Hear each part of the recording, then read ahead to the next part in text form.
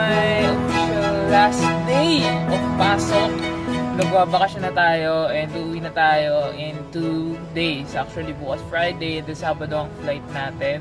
So, yeah, goodbye school for 2 months. Tingnan nyo ang aking uh, school.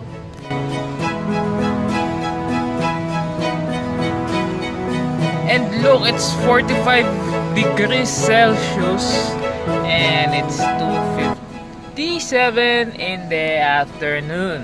At wala nang katao-tao sa mga parking lot natin because bakasyon na lahat ng mga teachers. Kami na lang nahuhuli dito yung mga admin assistant. Yan. And then uwi tayo and then try natin mag-live ulit. Actually, mag-subscribe kayo.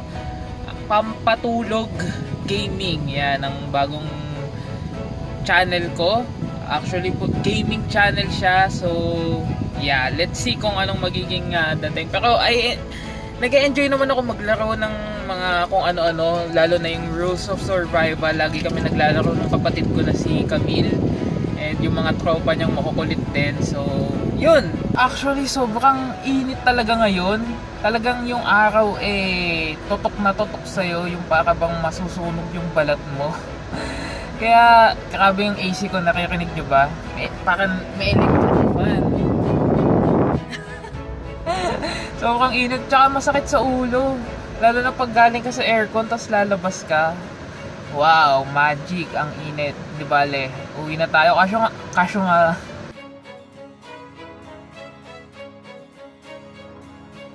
What's up mga boss? Yims here! And hindi na ako nakapag-vlog kahapon because alam niyo na, adik na adik na naman ako sa kaka-computer games. Naglaro na naman kami ni Cams na Rules of Survival. Actually, kung gusto nyo mapanood yung mga gameplay lang naman na boring, kung gusto nyo magpaantok, check nyo yung link sa baba, Pampaantok Gaming. Ah, Pampaantok, Pampatulog Gaming. Pasensya na, bagong channel eh. Pampatulog Gaming, yan. Anyways, nagpa-finalize na lang naman ako ngayon ng dadalin ko. Actually, ito na yung bagahe ko. Meron pa diyang space para sa mga bibiling ko lang mamaya. And then, ito, puno na tong isa kong bagay. Mga laman lang naman yan. Mga gamit sa bahay. Mga sabon, shampoo, dishwashing, mantika. By the way, bukas ang flight ko pero laki na naman ng chan ko ah. Anyways, magsaserve lang tayo saglit ngayon. Uh, and then, mamaya kasama natin ang mga tropa pips sa huling hirit bago ko umalis. Bago ko sila iwan dito sa Saudi for 2 months. Mamimiss ko sila sobra. But yeah, I'm ready na para mamaya dire-diretso na tayo ng gala, tawanan, happenings, and everything. So, let's go! Wow! Grabe ang init ngayon, guys. It's 11.30 and pinalalamig ko lang yung sasakyan because sobrang init talaga. Nasa 40 plus and hindi humid. Dry ang uh, ano natin. Wow. Reporter lang. Pero, ayan, malakas naman yung hangin. Pero ang init ng singaw. Grabe. Game! Game! Game! One, two, three!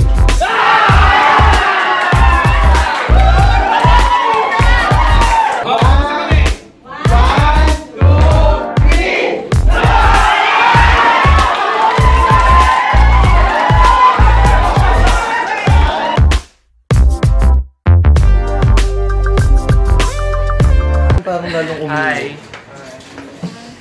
Nagluluto kami ng ano, ah, ang tawag dyan, seafood pasta. Pangwal salama kay Hindi, at saka pang welcome kay Ate. Charot. Aabot yan. Bilisan nyo magluto. Actually, ano oras na ba?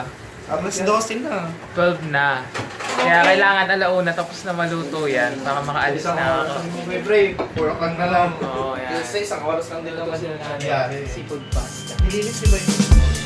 Hindi namin tinanggal yung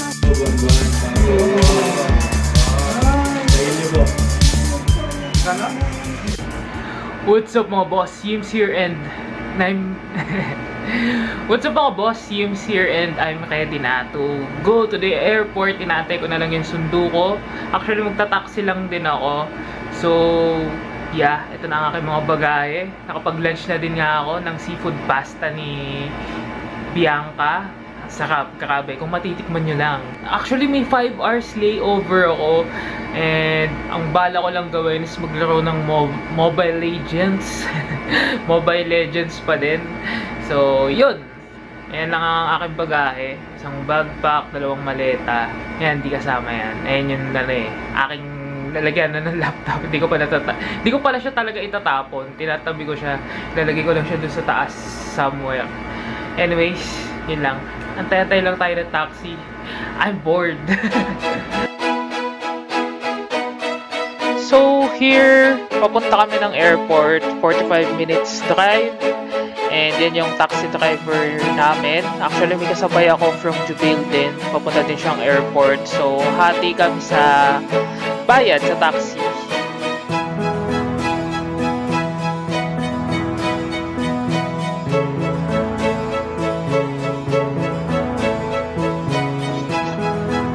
Then, ito yung plane na sasakyan namin papuntang Riyadh. Actually, one hour lang yung biyahe. Mula Damam hanggang Riyadh. And nakakatuwa yung lalagyanan nila ng food dahil Ramadan. So, special yung lalagyanan nila. And ang daming food, daming tinapay. And then, this is the bus going to the Terminal 3 to Terminal 2. Nasa Riyadh na kami niyan. And then, ito na yung flight namin papunta ng Manila. Yeah, boy!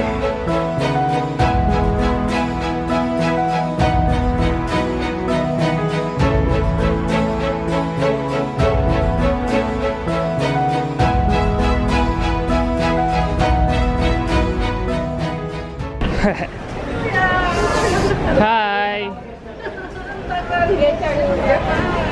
Nagka-problem eh. Hi! Ha? Sino ka kwentuhan mo? Kamusta ikaw? Okay naman. Pachi. Koy kuya. And katatapos lang namin manood ng ano, Midnight Sun. Di ba? Yeah! Nakakaiyak. Ngayon si Daddy. oh. Kumulo yung kilikili ko. Ito si We Pachi. are here again in the Philippines, vacation. Ito ang ano, aso ni Daddy. Yan, si Pachi. Cutie, cutie. Pachi. Ano yan, pag tinawag ko, ching paring, pancing, pancing. paring, pancing, pancing. Hey! Come! Tili! Yeah. Kulit, kulit. Yan. Pero. And- Anong lamesa? Ah, ito. Wow! May picture print. Eh, may ano. Wow! Wala nang tulo to. Wala na, pinagawa ko yan. Ito tahi daw ni mami yan. Oo. So, dahil wala tayong ending ng vlog, so that's why I'm recording this here.